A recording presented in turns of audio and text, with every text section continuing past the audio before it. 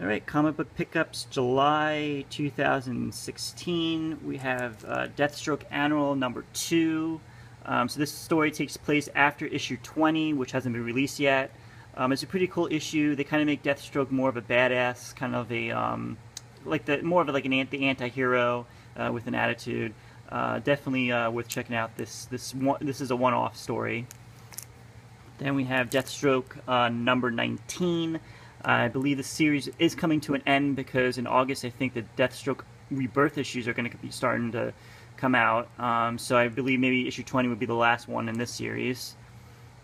I have to say that the artwork in the series is amazing. You guys got to check it out. Uh, we have Green Arrow number two. Uh, I, am really enjoying the storyline. Uh, this one, I mean, basically his, you know, he loses everything, his, you know, uh, money, his home, and he has to start from scratch, kind of. Definitely worth checking out.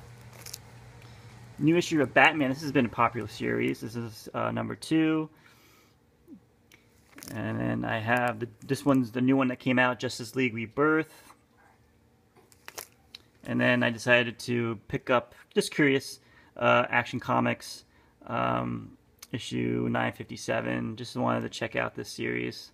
So that's this is what I got for July. Um, some really good comics. As you notice, it's basically just DC. This is what I've been collecting nowadays. Um, but definitely, you guys got to check out those these Rebirth storylines. They're, they're pretty good.